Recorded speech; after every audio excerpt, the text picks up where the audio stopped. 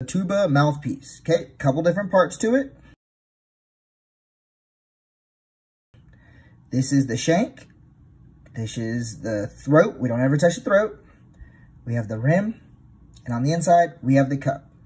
So we have the shank, the throat, the rim, and the cup. Say it with me now. Shank and throat, rim, rim, and cup. Last time, and shank and throat, rim, rim, and cup. Okay? Very important that you do not touch the throat. Okay? So that is the tuba mouthpiece. Shank, throat, rim, and cup.